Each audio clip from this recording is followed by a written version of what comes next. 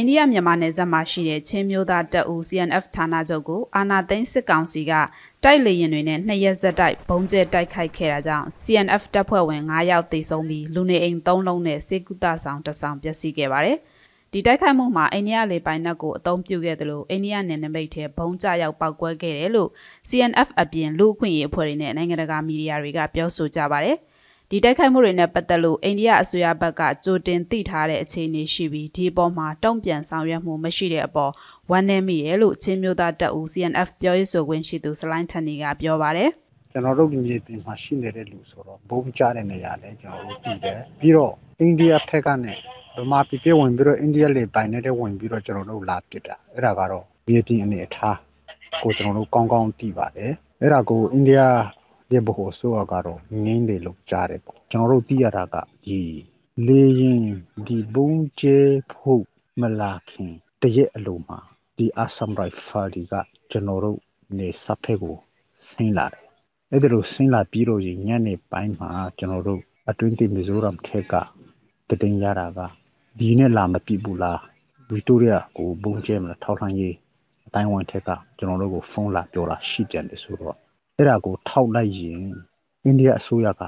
အိန္ဒိယစစ်တပ်ကဂျိုတီးတဲ့သဘောဖြစ်နေတယ်ပေါ့နော်ဂျိုတီးကိုတီးတယ်လို့ဒီတိုက်ခိုက်မှုတွေမှာအိန္ဒိယလေပိုင်နက်ကိုကျူးကျော်ဝင်ရောက်တိုက်ခိုက်ခဲ့တာဖြစ်ပြီးအိန္ဒိယဘက်ခြမ်းမီဇိုရမ်ပြည်နယ်ကျန်ဖိုင်ခရိုင်ဖာကော်ကျေးရွာအနီးကိုလည်းစစ်ကောင်စီကဘုံနှလုံးကျဲချခဲ့တယ်လို့ Fortify Rights အဖွဲ့ကလည်းကြေညာချက်ထုတ်ထားပါတယ်။ အိန္ဒိယနေကြားဆောင်တပ်ကတော့ဒီလိုဖြစ်ရမရှိကြောင်းညင်းဆိုထားတယ်လို့အိန္ဒိယသတင်းတွေမှာဖော်ပြကြပါတယ်။ချင်းမျိုးသားတပ်ဦး CNF ဌာနချုပ်မှာရှိတဲ့စီရေးပြစ်မှတ်14ခုကိုစစ်ကောင်စီကပြစ်မှတ်ထားတိုက်ခိုက်ဖို့ပြင်ဆင်နေတဲ့တပ်တွင်းလှုပ်ဝက်စာတစ်စောင်ပြီးခဲ့တဲ့နှစ်နိုဝင်ဘာပထမပတ်ထဲမှာထွက်ပေါ်ခဲ့ပါတယ်။ CNF တာဝန်ရှိသူတဦးဟာအဲ့ဒီအချိန်ကအိန္ဒိယမြန်မာနယ်စပ်လုံခြုံရေးတိုးမြှင့်ဖို့အိန္ဒိယအစိုးရထံကနေစီရေးအကူအညီတောင်းခံခဲ့တယ်လို့ Fortify Rights အဖွဲ့ရဲ့ကြေညာချက်မှာဖော်ပြထားပါတယ်။အိန္ဒိယဘက်ကနေစစ်တပ်က စစ်လက်နက်ပစ္စည်းသယ်ယူတာတွေရှိနေတဲ့အတွက်လုံခြုံရေးတိုးမြှင့်ဖို့အစိုးရစီကနေစီရေးအကူအညီတောင်းခဲ့တာမှန်ကန်ကြောင်းစလိုင်းထက်နီကအတည်ပြုပါတယ်။မီဇိုရမ်ပြည်နယ်အခြေစိုက်မီဇိုလူငယ်အဖွဲ့ရန်မီဇို Association က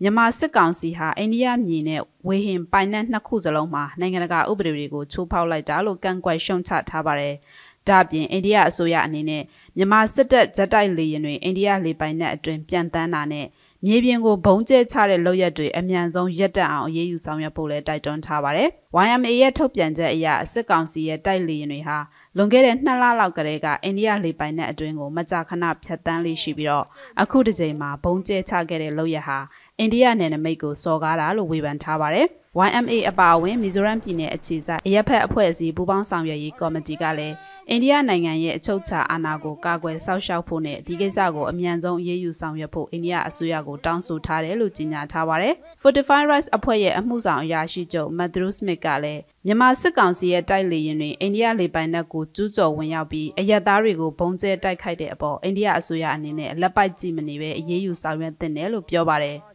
မီဇိုရမ်ပြည်နယ်ကျန်ဖိုင်ခရိုင်ဖာကော်ကြီးရွာအနီးဘုံကျရောက်ပောက်ကွဲခဲ့တာမှန်ကန်ကြောင်းနဲ့အလားတူဖြစ်ရပ်တွေထပ်မံဖြစ်ပွားလာမှာကိုဒေသခံတွေစိုးရိမ်နေကြတယ်လို့ဖာကော်ကြီးရွာကောင်စီဥက္ကဋ္ဌရဲ့ပြောဆိုချက်ကိုကူကားပြီး The Guardian သတင်းစာမှာဖော်ပြထားပါတယ်။ဖာကော်ကြီးရွာအနီးဘုံကျရောက်ပောက်ကွဲရမှာကားတစ်စီးပျက်စီးသွားခဲ့ပါတယ်။အဲ့ဒီကားမောင်းသူစီကတပ်တွေအထောက်အထားတွေကိုလည်းအမေရိကန်နိုင်ငံမယ်ရီလန်းပြည်နယ်အခြေစိုက်ချင်းလူမှုရေးအသင်းကရရှိထားပါတယ်။ ချင်းလူမှုရေးအသင်း CAM ကအမှုဆောင်ညွှန်ကြားရေးမှူးဇိုသုံးမှုံက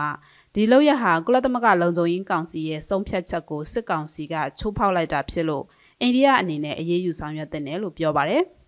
UN Security Council ရဲ့ဆုံးဖြတ်ချက်ကိုအခုစကားစ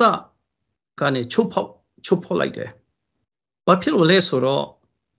ဒီ UN Security Council ဆုံးဖြတ်ချက်မှာ ဒီအာအကြံဖက်နီးဒီတိုက်ခိုက်မှုတွေကိုရပ်စဲရမယ်ဆိုပြီးတော့ဖော်ပြထားတယ်။ဒါကြောင့်မို့ဒီဟာကိုလည်းအာချိုးဖောက်တဲ့အတွက်အိန္ဒိယနေနဲ့ဒီစကားစကိုခေါ်ပြီးတော့ပြောတင်တယ်။ပြီးတော့အဲ့ဒီလိုရှောက်ချတာတခုတည်းမဟုတ်ဘဲနဲ့နောက်နောက်မှာလည်းဒီလို မလုပ်သွားဖို့အိန္ဒိယအနေနဲ့ပြောတင်တယ်နောက်တစ်ချက်ကတော့ကျွန်တော်တို့ statement မှာဖော်ပြတယ်လို့ပဲအိန္ဒိယကကမ္ဘာမှာဒီမိုကရေစီအကြီးဆုံးနိုင်ငံဖြစ်တယ်ကျွန်တော်တို့တိုက်ပွဲဝင်နေတဲ့ဟာကဒီမိုကရေစီကိစ္စဆိုတော့အိန္ဒိယနေနဲ့ကျွန်တော်ပြည်သူဖက်မှာရပ်တည်ပြီးတော့ဒီမိုကရေစီဖက်မှာပြက်ပြက်တတရပ်တည်တင်တယ်လို့ကျွန်တော်အဲ့လိုပဲအာပြောချင်ပါတယ်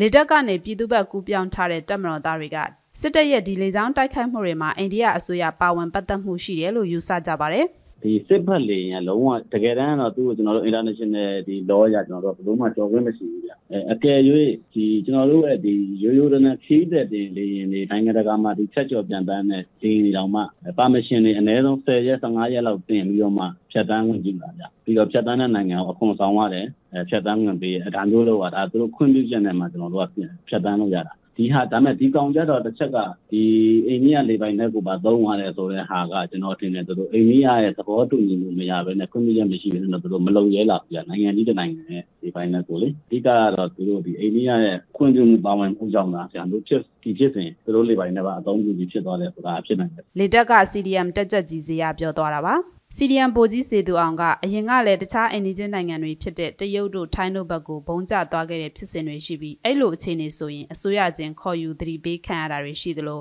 တက်တွင်းမှလည်းအရေးယူတာတွေရှိတယ်လို့ပြောပါတယ်ဒီဘော်ဒါစီးတွေမှာတိုက်ကြပြီဆိုရင်သူတို့နိုင်ငံကိုကြော်ဝါပြီဆိုရင်တော့ဒါလေပိုင်နဲ့ကိုအတုံးပြုတ်ပြီးတိုက်ခိုက်ပြီးသူတို့နိုင်ငံတွေကိုကြော်ဝါပြီဆိုရင်သူတို့ချက်ချင်းတည်တယ်။ဘာကြောင့်လဲဆိုတော့ဒီကျွန်တော်တို့ဒီရီဒါတွေကနေလည်းအကုန်ပေါ်တယ်။အဲ့ချိန်ကြလို့ရှိရင်ဒီနိုင်ငံတကာစီးမင်းတွေရဆောင်ရွက်ကြရတာပေါ့ ခုလိုမျိုးဒီအိန္ဒိယရဲ့လေပိုင်နက်ကိုကြော်ပြီးအသုံးပြုတိုက်ခိုက်တဲ့အချိန်မှာဘုံတော်ကျသွားခဲ့တော့မှဘာမှမပြောဘူးဆိုတဲ့အစားအိန္ဒိယနိုင်ငံကနေပြီးတော့မှဒါဟာသူခွင့်ပြုထားလို့ဒါလင်းအဲ့လိုမျိုးမပြောတာလို့ကျွန်တော်ယူဆလို့ရတယ်တကယ်တမ်းကျော်ပါဝါချင်းကလည်းအကွာကြီးအိန္ဒိယနဲ့မြန်မာနဲ့ဆိုတာစစ်တက်ချင်းအင်အားချင်းရောဒီငွေဒဏအင်အားချင်းရောအစစရအားလုံးအရန်ကွာတဲ့နိုင်ငံတစ်ခုကသူတို့နိုင်ငံရဲ့လေပိုင်နက်ထဲကိုကြော်ပြီးတော့မှသူတို့ရဲ့အချုပ်ချအာဏာတွေကိုဝင်ပြီးတော့မှအဲတိုက်ခိုက်ရုံနဲ့မကောက်ဘုံမှာကြတာတော့မှဘာမှမပြောဘူးဆိုတဲ့ကြတဲ့အစားဒါက သူတို့ခွင့်ပြုလို့ဒါလင်းဒီလိုမျိုးလုပ်လို့ရတယ်လို့ကျွန်တော်တို့ယူဆလို့ရပါတယ်အိန္ဒိယမြန်မာနယ်စပ်မှာရှိတဲ့ Democratic ပျောက်ကြားတပ်ဖွဲ့ဗဟိုကော်မတီဝင်ရဲဘော်ဇီယာကမြန်မာစစ်တပ်ကိုအားပေးအားမြောက်မပြုဖို့အိန္ဒိယအစိုးရကိုတောင်းဆိုပါတယ်အိန္ဒိယနိုင်ငံကို၌ကလည်းနာကဘာမှာအင်အားကြီးတဲ့ဒီမိုကရေစီနိုင်ငံကြီးလည်းဖြစ်တယ်ပြီးတဲ့အခါကျတော့မြန်မာနိုင်ငံနဲ့ကလည်းအပြန်အလှန်အမိသဟဲပြုနေရတာတွေများစွာရှိတဲ့အခါကျတော့မြန်မာပြည်သူတွေရဲ့ဆန္ဒ ကကျွန်တော်ဒီမိုကရေစီကိုတောင်းဆိုနေတာတကဘာလုံးကကြားသိပြီးသားဖြစ်တယ်ဗျာအဲ့တော့မြန်မာပြည်သူတွေမြန်မာနိုင်ငံသားတွေရဲ့သဘောဆန္ဒကိုလေးစားသောအပြင်တော့မတရားအာဏာသိမ်းထားတဲ့အကြမ်းဖက်စစ်တပ်ကိုလူမိုင်အားပေးလှုပ်တာမျိုးတော့ကျွန်တော်တို့အပြင်းထန်ကန့်ကွက်ရှုံချတယ်နောက်ဒါမျိုးမဖြစ်ဖို့လည်းကျွန်တော်တို့အလေးနဲ့တောင်းဆိုချင်ပါတယ်ဗျ Fortify Rights အပြင်လူခွင့်ရေးအဖွဲ့တွေနဲ့ချင်းအဖွဲ့အစည်းတွေကအိန္ဒိယလေပိုင်နက်ထဲစစ်ကောင်စီတိုက်လေရင်တွေမဝင်နိုင်အောင်တားဆီးပြီး နေဇက်ကအိန္ဒိယအရသားတွေနဲ့ချင်းတိုင်းသားတွေကိုအကာအကွယ်ပေးဖို့အပြင်စစ်ကောင်စီကျူးလွန်နေတဲ့ရာဇဝတ်မှုတွေကိုအရေးယူနိုင်အောင်ပါဝင်ကူညီဖို့လည်းအိန္ဒိယအစိုးရကိုတိုက်တွန်းကြပါတယ်။ချင်းရေးရအဖွဲ့ချုပ်ကစလိုင်းပန်ဆွေးဆန်ကဒီတိုက်ခတ်မှုကြောင့်နေဇက်မှာရှိတဲ့ဒုက္ခသည်တွေလုံခြုံရေးစိုးရိမ်နေရတယ်လို့ပြောပါတယ်။ဒီလီချောင်းက အိန္ဒိယနဲ့နမိတ်ထဲကိုလည်းဖြစ်လာတယ်ပြင်ဘုံလည်းအိန္ဒိယဘက်မှာတစ်ခေါက်ဒီဘုံကျဲတာလည်းအိန္ဒိယဘက်မှာကျသွားတယ်အဲ့ဒါကိုဒီနေဆက်မှာဂျူတီချနေတဲ့အဆမ်ရိုင်ဖယ်တွေလည်းမတိတာမဟုတ်တိတာတော့တိတယ်ဒါပေမဲ့သူတို့ကဒီတိုင်းလည်းပိုက်ကြည့်နေတာတော့တကယ်လုံးဝအံ့ဩတယ်ပေါ့နော်အိန္ဒိယဘက်မှာဘုံကျသွားတာတော့မှဒီအစိုးရကဘာမှ action မလာတဲ့ခါကျတော့ကျွန်တော်တို့ဒီနေဆက်မှနေရ